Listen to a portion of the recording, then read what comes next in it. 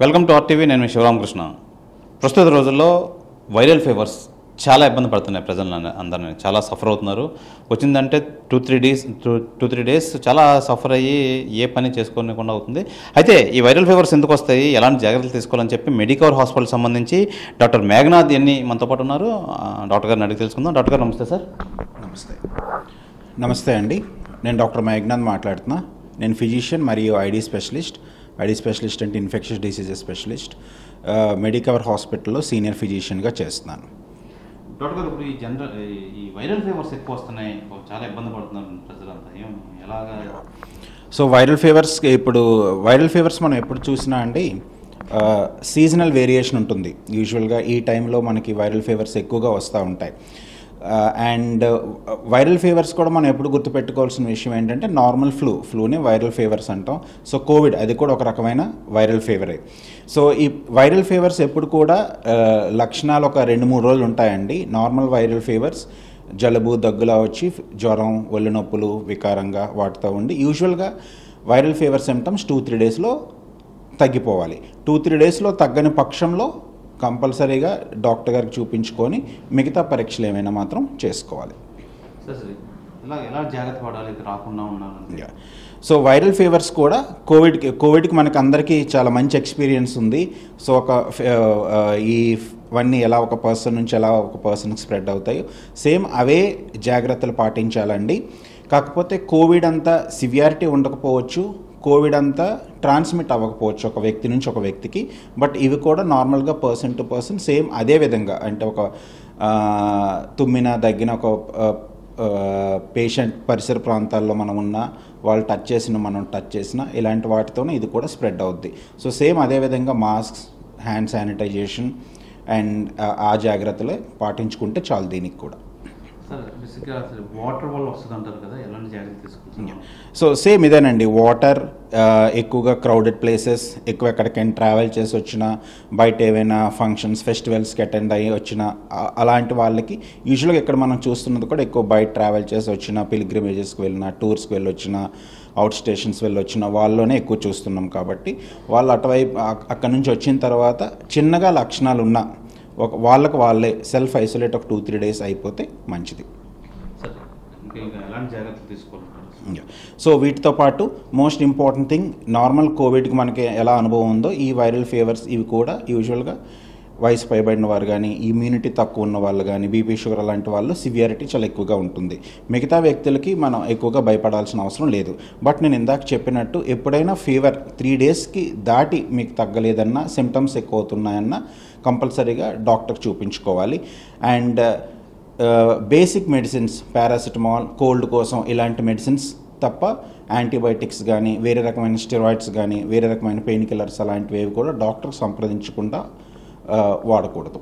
Sir ఈ వయసు వారికి వస్తుంది? ఈ వయసు వాళ్ళకి రాదు అని ఏమన్నా ఉన్నదా సార్? అలా ఏం లేదండి. ఫ్లూ చిన్న పిల్లల నుంచి ఎంత పెద్దవారికి ఎవరికైనా రావచ్చు. ప్రధానంగా దేని వల్ల వస్తుందంటారు సార్? ఎయిర్ వల్ల వస్తుందంటారా? Yeah same. ఇది సీ- ఒక సీజన్లో మనకి ఇప్పుడు వైరస్ ఉంటుంది. అప్పుడైతే ఎలా కోవిడ్ వైరస్ ఉండిందో మీకు గుర్తే ఉంటుంది. కొన్ని రోజుల క్రితం స్వైన్ ఫ్లూ అని ఉండేది. కొన్ని రోజుల క్రితం H one N one influenza అనేవాళ్ళం. అదేవిధంగా ఇప్పుడు ఈ ఈ- ఈ వైరస్ ఇప్పుడు ఎక్కువ వస్తున్నది రెస్పిరేటరీ సిన్షియల్ వైరస్ అంటాం. ఇంతకు ముందు వచ్చింది ఎడినో వైరస్ అంటాం. కామన్గా మనకి కామన్ జలుబు కామన్ కోల్డ్ని ఎడినో వైరస్ అంటాం. ఇప్పుడు ఉండేదాన్ని రెస్పిరేటరీ సిన్షియల్ వైరస్ అంటాం. ఇది కూడా ఒక ఒక ఏరియాలో ఎక్కువ మందికి ఉందనుకోండి. సపోజ్ ఒక స్కూల్లో కానీ కాలేజ్లో కానీ హాస్టల్లో కానీ ఎవరికైనా పిల్లల్లో ఉందనుకోండి. ఒకరి నుంచి ఒకరికి ఈజీగా స్ప్రెడ్ అవుద్ది. సో అలా కామన్గా కామన్ ప్లేసెస్ ఎక్కువ గ్రూప్స్ గ్యాదరింగ్స్లో ఎక్కువ స్ప్రెడ్ అవుతూ ఉంటుంది. సార్ దీనికి మెడికేషన్ అంటే ఆవిరి పట్టడం అని ఎక్కువ అంటుంటూ ఉంటారు కదా ఎంతవరకు ఉపయోగపడుతుంది సార్? యా సో ఆవిరి పట్టడం అంటే డెఫినెట్గా నష్టం అయితే లేదండి. సో ఆవిరి పట్టడం ఈజ్ ఓన్లీ లైక్ కంజెషన్ ఉంటుంది నాజల్ కంజెషన్ క్లియర్ చేయడానికి మాత్రమే. అది వైరస్ వైరల్ లోడ్ని తగ్గించడం కానీ వైరస్ నుంచి క్యూర్ ఇవ్వటం కానీ అదైతే మాత్రం ట్రీట్మెంట్ ఆప్షన్ కాదు. సార్ ఈ కోవిడ్ ఎఫెక్ట్ అయిన వాళ్ళకి ఈ వైరల్ ఫీవర్స్ ఏమైనా ఎక్కువ ఎఫెక్ట్ అవుతుంటూ ఉంటాయి? దానికి దీనికి ఏమైనా సంబంధం? అలా ఏం లేదండి. కోవిడ్ ఎఫెక్ట్ అయిన వాళ్ళకి ఏం లేదు. యూజువల్గా ఈ ఫ్లూస్ ఈ ఇమ్యూనిటీ బాగుండే వాళ్ళకి అందరికి కూడా వస్తూ ఉంటాయి. అండ్ కానీ సివియారిటీ మాత్రం నేను చెప్పినట్టు కొంచెం అదర్ కాంప్లికేషన్స్ ఉండే వాళ్ళు వయసు పైబడిన వాళ్ళలో మాత్రం సివియారిటీ కాంప్లికేషన్స్ కొంచెం ఎక్కువగా ఉంటాయి. సార్ అంటే సీజనల్గా వస్తుంటూ ఉంటాయా? లేదంటే యా ఇది ఎక్కువగా సీజనల్గా వస్తూ ఉంటాయండి. దీనికి చాలా వరకు అందరికీ ఎస్పెషల్లీ ఈ sixty five and above diabetes ఉండే వాళ్ళకి లేదంటే స్మోకర్స్ లంగ్ ప్రాబ్లమ్స్ ఉండే వీళ్ళందరికీ కూడా vaccination తీసుకోనమంటాం this is the reason so ఈ ఫ్లూ వ్యాక్సిన్స్ ఉంటాయి ఎవ్రీ ఇయర్ తీసుకోవాల్సినవి. అలాగే న్యూమోనియా వ్యాక్సిన్స్ కూడా ఉంటాయి. ఆ వ్యాక్సిన్స్ అన్నీ తీసుకుంటే కొంతవరకు సివియారిటీ తగ్గుతుంది. సో కోవిడ్ వ్యాక్సిన్ అయితే ఎలా అయితే మనకు కాపాడుతుందో అలాగే ఈ ఫ్లూ వ్యాక్సిన్ కానీ ఈ న్యూమోనియా వ్యాక్సిన్స్ కూడా మరి ఎక్కువ సివియారిటీ రాకుండా వ్యాధి బారిన ఎక్కువ పడకుండా కాపాడుతుంది.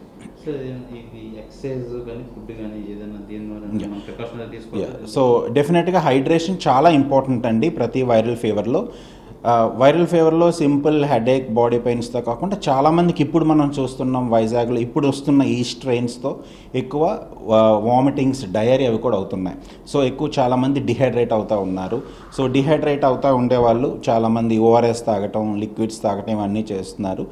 గుర్తు ఓఆర్ఎస్ డిఫరెంట్ అండి. ఓఆర్ఎస్ లిక్విడ్ అనేది మనకు దొరికేది డిఫరెంట్ అది అందరూ గుర్తుపెట్టుకోవాలి. ఓఆర్ఎస్ లిక్విడ్ మనకు దొరికే packet different ORS packets different so మనం హైడ్రేషన్ ఉంచుకోవాలి. That is the most important ఎందుకంటే ఈ యాక్చువల్గా వైరల్ ఫీవర్ కన్నా దా డిహైడ్రేషన్ బీపీ తక్కువ అవటం వల్ల వచ్చే కాంప్లికేషన్స్ ఎక్కువ ఉంటాయి. సో హైడ్రేషన్ ఉంచుకోవాలి. Yeah good high protein food తీసుకోవాలి. Some vitamin or immune supplements ఏమైనా తీసుకోవచ్చు. సార్ ఇప్పుడు వస్తున్న వైరల్ ఫీవర్ ఆస్మా ఉన్న వాళ్ళు కానీ యా వస్తుంది సో ఆబ్వియస్లీ ఆస్మా ఉండే వాళ్ళకి లేదా ఎలర్జీస్ ఉండే వాళ్ళకి ఈ సీజన్లో కొంచెం ఈ సిమ్టమ్స్ ఎక్కువ అవుతాయి. దాంతో వాళ్ళకి యూజువల్గా ఎవ్రీ ఇయర్ ఈ సీజనల్ వేరియేషన్ ఈ స్పైక్ ఉంటుంది. ఈ టైంలో వాళ్ళకి ఎక్కువగా ఉంటుంది. సో వాళ్ళతో మాత్రం ఎస్పెషల్లీ పిల్లల పిల్లలు ఉన్న ఎస్పెషల్లీ పిల్లలు. పీడియాట్రిక్ ఏజ్ గ్రూప్ చిన్న పిల్లలు ఫిఫ్టీన్ ఇయర్స్ లోపు కొంచెం ఎక్కువ సివియర్గా వస్తూ ఉంటాయి ఫ్లూ అండ్ ఆస్తమా సిమ్టమ్స్ ఇవన్నీ. సో వాళ్ళతో మనం కొంచెం జాగ్రత్తగా ఉండాలి. సార్ బేసిక్గా సన్లైట్ అంటే ఎండలో తిరిగిన వాళ్ళకి ఎక్కువ రాదంటారు. ఏంటి సార్? దానికి దీనికి ఏంటి వ్యత్యాసం ఏంటి అలా ఏం ఉండదండి. సన్ వలన జస్ట్ కేవలం vitamin D levels and immunity అదొకటే రీజన్ తప్ప ఎండలో ఎక్కువ తిరగటం వలన లేదా హై టెంపరేచర్స్ ఉండటం వలన ఫ్లూస్ వైరస్ రావని ఏం లేదు. ఎందుకంటే మనకి second wave covid peak of second wave మేలో వచ్చింది. సో బాగా ఎండలు ఉన్నప్పుడు. ఇన్ఫ్యాక్ట్ ఆ టైంలో ఇంకెక్కువ స్ప్రెడ్ అవుద్ది. ఓకే ఎందుకంటే అందరూ హాలిడేస్లో ఉంటారు ఒక ఇదంతా కాబట్టి. సో ఎండలో తిరగటం అనేది it's a good thing good exercise రోజు రెగ్యులర్గా చేసుకోవటం good vitamin D source. But దానివల్ల సివియారిటీ ఆఫ్ ఫ్లూ కానీ ఫ్లూ కేసెస్ తగ్గుతాయని అలాంటిది అపోహ. సో డెంగీ ఫీవర్స్ కూడా ఈ వైరల్ ఫీవర్స్ ఈ సీజన్తో పాటు ఎక్కువ వస్తూ ఉంటాయండి. సో ఈ టైంలో. So dengue fevers malaria fevers ఇవన్నీ దోమకాటు వలన వచ్చేవి. సో రెండిటికి ఆల్మోస్ట్ లక్షణాలు ఒకలాగే ఉంటాయండి. బాగా సివియర్గా చాలా హై ఫీవర్ బాడీ పెయిన్స్ ఇలాంటివన్నీ ఆల్మోస్ట్ ఒకలాగే లక్షణాలు ఉంటాయి. సో ఓన్లీ థింగ్ నేను మీకు చెప్పినట్టు త్రీ డేస్ దాటి ఫీవర్ తగ్గకపోయినా ఫీవర్ బాగా హైగా వస్తుందన్న కంపల్సరీగా ఈ టెస్ట్ చేయించుకోవాలి. మలేరియా కానీ డెంగీ వీటితో పాటు చిన్న బ్లడ్ టెస్ట్ అవన్నీ చేయించుకుంటే మనకు మలేరియా ఆర్ డెంగీ తెలుస్తుంది. మలేరియాకంటూ స్పెసిఫిక్ ట్రీట్మెంట్ ఉంటుంది. యాంటీ మలేరియల్ డ్రగ్స్ అవన్నీ ఇస్తాం. డెంగీకి మాత్రం అంతా సపోర్టివ్ ట్రీట్మెంటే సో హాస్పిటల్ అడ్మిట్ చేసి హైడ్రేషన్ గట్రా చూసుకోవటం ఇదంతా చేస్తూ ఉంటాం.